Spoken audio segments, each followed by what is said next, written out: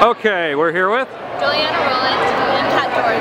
All right, individually, both had some uh, awards tonight. How are you feeling you're doing in, in gymnastics-wise this week and the, through the season? Um, I feel like individually I've been doing pretty good. This is my first year, so I'm still learning with every competition, but I feel like um, with every meet I'm growing and my scores are growing with me.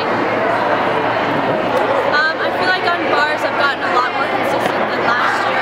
And beam started off a little rough, but I'm getting it back now, which is really good. And now the postseason's coming up. Where do you each think the team? How do you think the team is doing going into the postseason? I think our team looks really strong. Um, we have so much depth on our team that really helps us.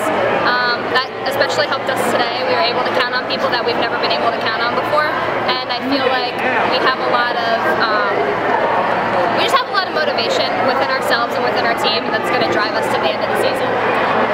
I agree with Jules. We do have a lot of depth in our team, which is great because last year we struggled a little bit with that. So I think going into the postseason, we're going to do really well. Well, thank you both and good luck. Thank you.